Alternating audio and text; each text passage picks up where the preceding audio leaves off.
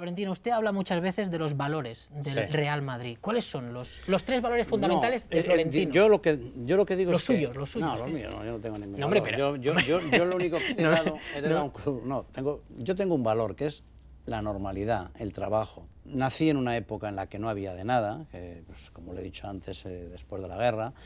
Entonces, a mí me ha condicionado mucho mi vida eso. Pues entonces, mi vida es, mm, los sábados es un día laborable, como, como, como un martes hoy día, ¿no? Además, usted no viene de rico. No, no, no. Y mi padre no ha hecho más que trabajar. Y los domingos para mi padre, pues era como los sábados, los lunes, los miércoles.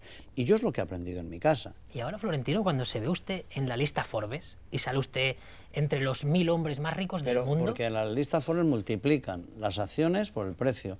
Pero no saben que detrás de eso, pues primero es solo papel y que las acciones también se compran con créditos, que eso no los ponen. ¿eh? Pero vamos, a mí no me da ninguna satisfacción, digamos. no se lo mira eso, no se mira No, la no, lista si Forbes. Yo, nunca he trabajado para ganar dinero, porque además, entre otras cosas, mm, no lo sé disfrutar. O sea, si yo no lo sé disfrutar. ¿Qué quiere decir? Bueno, pues que yo mm, me encuentro más cómodo el sábado y el domingo trabajando que, que en la playa, por ejemplo. ¿No sabe disfrutar del dinero? No, si no es disfrutar, que es que yo, como le digo, cada uno nos condiciona nuestra vida. Eh, usted ha nacido en otra época, pues que seguro que disfruta muchas más cosas, seguro. Que oiga, yo estoy seguro que es mejor. Usted está mejor en el despacho que en la playa. Bueno, yo estoy mejor haciendo cosas por las que creo. Pues para que lo sepa, por si no lo sabe, porque esta semana se ha actualizado la, la lista Forbes, está usted en el puesto 869 Bueno, pues, y el 15 de España. Bueno, te digo y vuelvo a decir que ahí no, conta- no, no- no tienen en cuenta lo que debes. O sea, te, multiplican tu valor de acción por, por las acciones que tienes y te sacan un número. Pero claro, también se tiene, uno tiene las deudas para comprar esas acciones. ¿no? ¿Usted sabe el dinero que tiene? Bueno, el dinero, como el que está en bolsa, un día sube y otro día baja, es muy difícil saber. Pero no se preocupe, yo no, no tengo ningún apego al dinero, ya les lo digo de verdad. ¿Cree usted que ha habido burbuja de obra pública en este país? No, yo creo que ha habido burbuja inmobiliaria. ¿Y de obra pública no? No, no. Lo que sí hemos hecho es hacer 800.000 casas al año, déjeme, traer gente para construirlas y luego darnos cuenta de que no, se van, de que no había clientes para venderlas y tener a los trabajadores en paro. Y dedicar a ese tema 400.000 millones de euros. Eso sí que ha sido la burbuja, que es la burbuja inmobiliaria. El que se- Pero de obra pública no. Mm, Yo creo que no, sinceramente. ¿Usted no cree que, por ejemplo, no sé, una construcción en la que ustedes desde hace se participaron, como la de las radiales de Madrid, no ha sido una obra innecesaria? No, no es inútil. inútil. La obra pública no hay nada inútil, eso seguro. Bueno, digamos, a, a lo mejor poco utilizada, poco- por poco enci- a lo mejor, utilizada. efectivamente, pues por encima de nuestras posibilidades. Hemos construido infraestructuras por encima de las posibilidades del momento. Pues podría ser, eso yo no le digo que no. Pero vamos, no, no te que- no le quepa duda que van a ser utilizadas.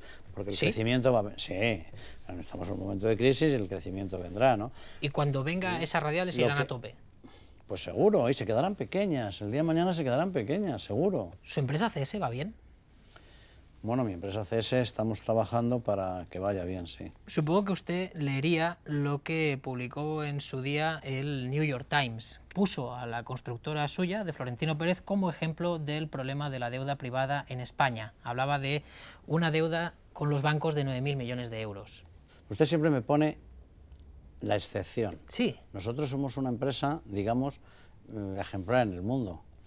Ahí hubo un problema, digamos, eh, en el metro. Cuando tú compras una empresa, pues a, los de- a los- a la gente allí no les gusta. usted compró una empresa en Sí, Estados Unidos. una empresa en Estados Unidos. Entonces a la gente no le gusta. Ahí se y cuando enfadaron. la compran en Alemania, pues tampoco les gusta. Se enfadaron en el New York Times Sí, porque seguro. ustedes habían comprado Seguro. una empresa americana para hacer el metro de allí. Seguro. ¿m? Y por eso publicaron esto. Bueno, seguro. Cuando usted lee un titular como este, los 20 españoles más ricos igualan los ingresos de los 9 millones más pobres. Pues me da bastante tristeza. Pero usted está en esa élite. Usted en, esta, Bueno, en la estoy- élite de esos 20. Yo estoy en la élite del que trabaja. Yo estoy en la élite del que genera trabajo. Yo más no puedo hacer que dedicar las 24 horas del día a generar trabajo. ¿Cómo podemos redistribuir mejor la riqueza?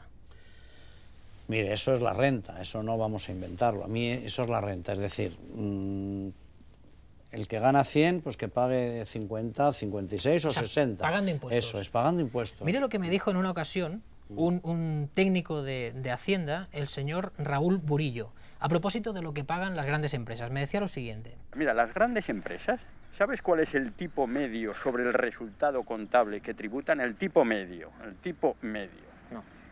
El 5%. Anda ya. Si quieren y lo ponga, que es otro tópico, se lo cuento yo. Lo acabamos de escuchar y usted me cuenta luego. Pero una empresa tiene que pagar el impuesto que pagan las empresas, el llamado impuesto de sociedades, Sí. que yo creo que en España está alrededor del 25%. ¿Cómo se lo montan para llegar a pagar solo el 5% y que además sea legal? Por las posibilidades que tiene de aplicar deducciones, bonificaciones, regímenes especiales sobre su resultado contable, ahí se mete el fraude de las grandes empresas. Usted siempre tiene malos asesores. Pero por suerte, gustaría- por no, suerte estoy aquí con usted para que usted me lleva por el buen camino. Yo estoy encantado que usted me dé otra versión. No, yo le doy la que es. diga. Si aquí, por ejemplo, yo facturo el 10% y el 90% fuera, eh, donde- con los tratados de doble imposición, yo donde trabajo pago los impuestos.